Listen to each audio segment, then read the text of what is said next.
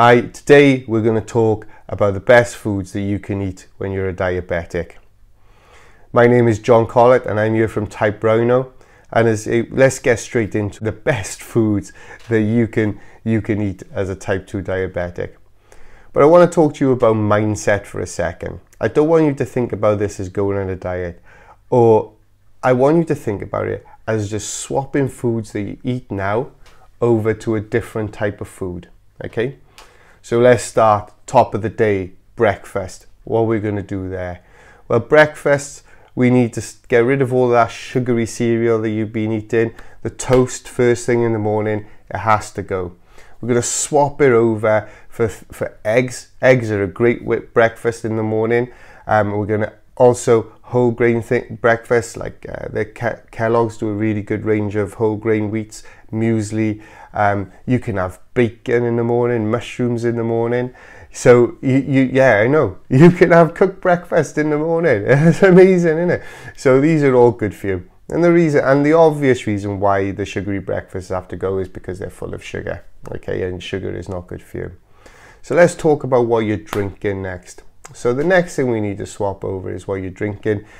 We really need to get rid of all of these fizzy drinks. Yeah, even orange juice. The orange juice out of the carton, it's gotta go. It's absolutely full of sugar. There's more sugar in that stuff than there is in the uh, in the high energy drinks. Okay, it's a, and only a recent study. So this video is being done I think it's around about the 18th of May. A study only came out yesterday from America saying that orange juice is a danger. And what we got to swap that over for? Well, I'm going to swap that over mainly for water. Okay, water is a fantastic source for you of, of, of liquid. There's no, no sugar in it, which is great.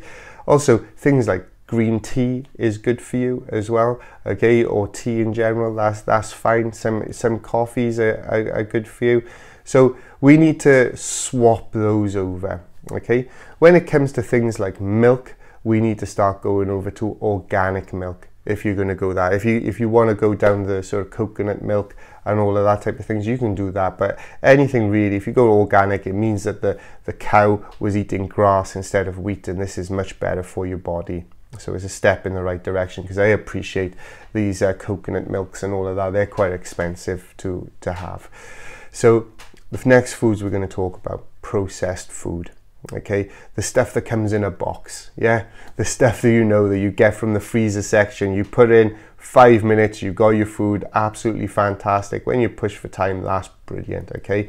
Well you know you need to swap those over for fresh vegetables okay? Fresh vegetables absolutely fantastic for you. There's loads of different things you can do with fresh vegetables. And and the general rule is because if you do a bit of research you will be told that there's some good veggies and bad veggies. So i'm to give you a really simple rule to follow. If it's above ground it's good. If it's below ground you want to limit the amount that you eat okay?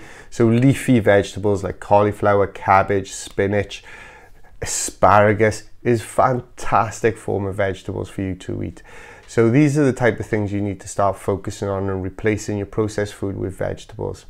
And yes i did say above ground is better the worst vegetable you can eat is potatoes, okay, because it's full of carbs, okay? But if you are gonna have potatoes, right, okay, make sure it's no more than a fistful, okay? You want about 20 grams of uh, carbs a day, and so a few vegetables every now and again is not gonna hurt you. But yeah, I know you, I know you're thinking the chips are out, are out, but I promise you, once you start getting into all the different things you can do with vegetables, they become really, really exciting for you to eat.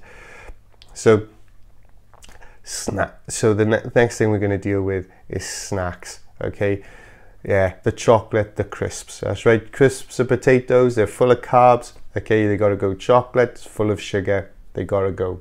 Okay, so what are we going to swap them over? Well, we're going to swap them over for nuts and berries, which are really, really nice. Walnuts, they're really nice. There's lots of types of berries that you can have. We need to swap them over for those type of foods so that when you're feeling hungry you grab a handful of nuts eat those i promise you if you just give it a little bit of time that hunger will go away and will keep you going so we're not telling you to stop snacking yeah no problem with having a snack protein bars i like protein bars as well they're good. Um, maybe just one a day of those though, you know what I mean? But two at the most. But there's a bigger and bigger variety of uh, protein bars on the market now that you can have, which I strongly advise you to start looking into. But they have very low carbs and sugar ratings on those. The next big thing is pasta. Okay, yeah, the pasta and the rice, they've got to go.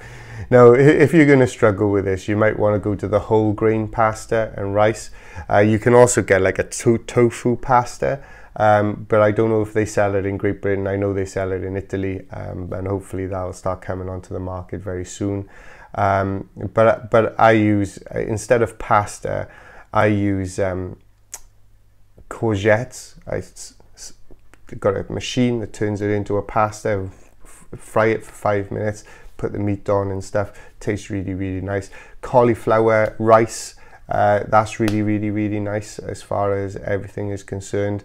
Um, you know, as far as far as uh, instead of rice itself, um, you know, especially you, know that's nice enough, especially when you've put meat on top of it. If you're having like curry or chili or something like that, you know, and and yet again, when it comes to meat, if you're to eat meat, which is no problem, I eat meat, per, I, you know, organic, try and get organic meat so that the meat comes from the cows that eat the food that they're meant to be eating. Okay, if you can do that, that's fantastic. But if you just eat the meat, you know, if that's where you are, then you know, still you don't have to stop eating meat. You don't have to become a vegetarian or anything.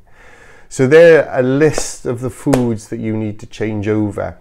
And the main reason you want to start swapping these foods over is because when you start looking into how much sugar is actually in all of these products, you, you'll realize why you need to swap over. But I promise you, it'll make a massive difference to you in the long run.